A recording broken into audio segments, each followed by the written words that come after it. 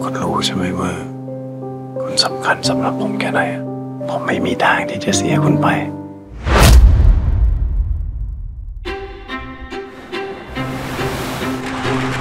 ใครมาล่ะคะทิน คุณรู้ไหมว่าตอนนี้เจนอยากได้อะไร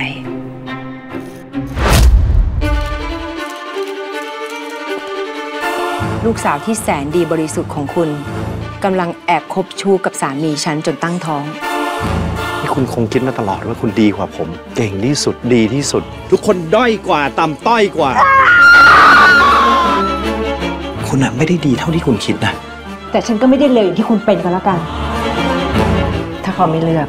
ฉันจะเป็นฝ่ายตัดสินใจเลือกให้เขาเอง เกมรักทรยศ เร็วๆนี้ ดูทีวีกด 33 ดูมือถือกด3 plus